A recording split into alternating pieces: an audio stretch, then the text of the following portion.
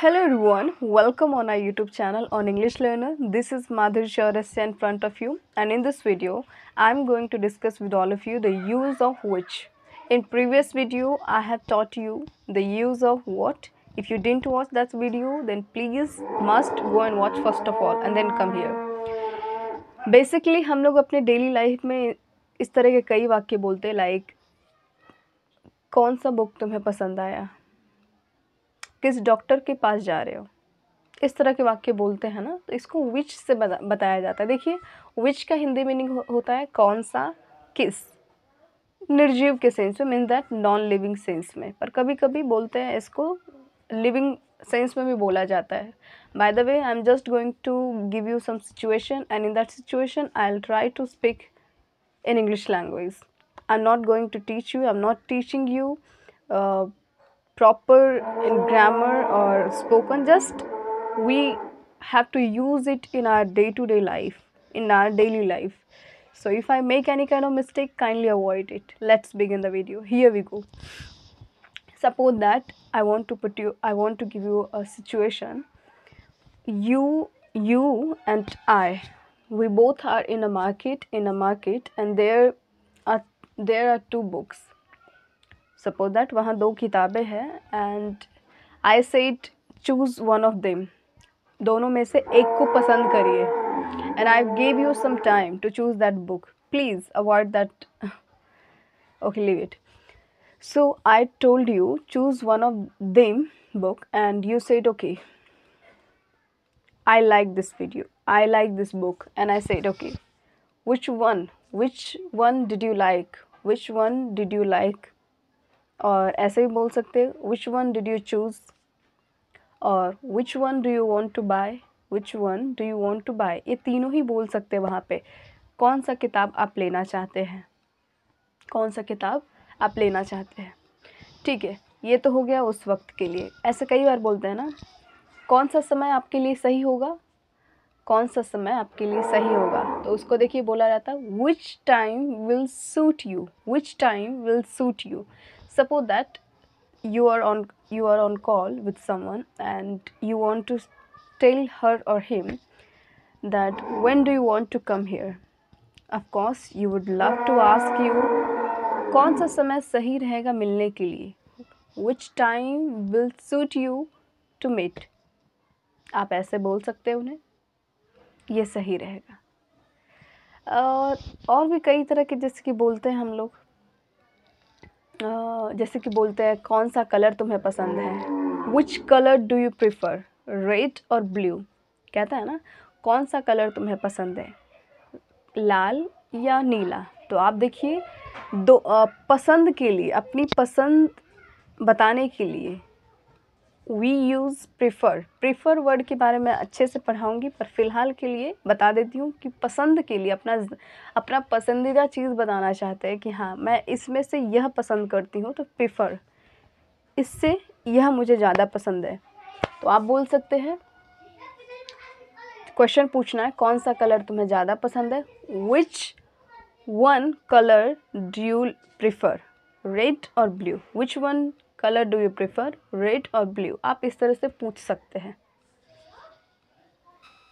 अच्छा कई बार हम लोग पूछते हैं ना suppose that the someone is ill and you want to ask कि क्या आप किस डॉक्टर के पास जा रहे हैं?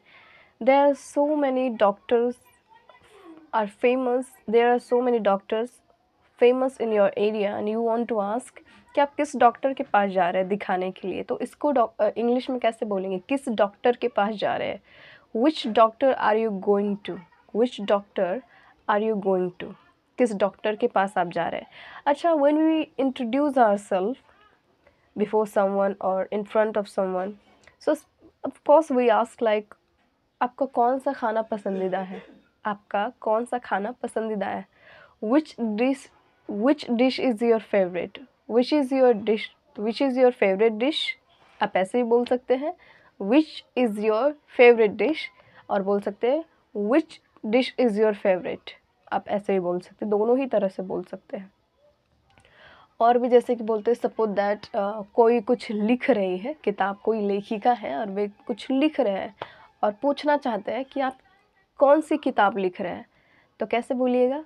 Which book are you writing which book are you writing आप ऐसे पूछ सकते हैं। गट इट और भी कई तरीके से आप पूछ सकते हैं जो बहुत तरीके से अभी मेरे माइंड में एग्जांपल नहीं आ रही है।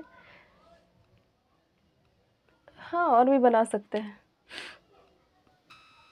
अब जितने भी सारे हम लोग वाक्य लेने वाले वो सिर्फ़ इस पे लेंगे कि तुम्हारी क्या पसंदीदा चीज़ है। That can be your dress food और और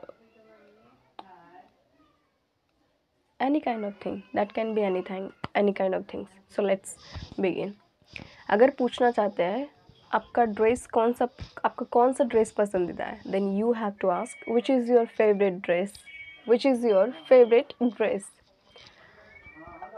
अच्छा what about this if you want to reply of this question then how you are going to reply you have to say which is your favorite dress suppose that you said me ma'am which is your favorite dress dress or didi which is your favorite dress then i am going to reply you this is my favorite dress or this one is my favorite dress got it suppose that you are going to ask me you asked me which is your favorite dupatta आपका कौन सा दुपट्टा पसंदीदा है तो I am going to reply you this is my favourite dupatta और this one is my favourite dupatta got it suppose that you want to ask you कि आपको कौन सा भोजन पसंदीदा है आपका कौन सा भोजन पसंदीदा है then you have to ask which is your favourite dish which is your favourite food you can ask like this okay suppose that you want to know about someone that what kind of hair hairstyle he likes then you have to say which is your favorite hairstyle which is your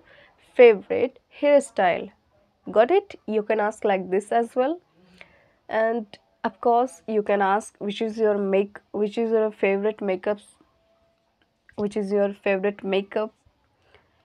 I don't have any kind of idea about makeup because i'm not fond of doing that kind of things. But yeah if you want to know about someone then you can ask like this. Or even you can ask with your classmates like if you want to know what kind of poem and what kind of prose she likes then you can ask what kind of poem not what kind of of course yeah which is your favorite poem not poem if you want to know about it then go and kindly search on google enunciation of poem then you can know about it इसको poem पढ़ते हैं poem आप poem भी पढ़िए, कोई दिक्कत नहीं। Poem के साथ अपना ही एक अच्छा अटैचमेंट है, कोई दिक्कत नहीं है, पर पोअम पढ़ा जाता है। Leave it then you can ask which is your favourite poem which is your favourite story which is your favourite poetry sorry poem हाँ if you want to know about some poet then you can ask which is your favourite poet which is your favourite poetry you can ask like this. Okay what what about that? If you want to ask about someone what kind of movie does he like then how can you ask? You have to say which is your favorite movie? Which is your favorite movie? So my favorite movie is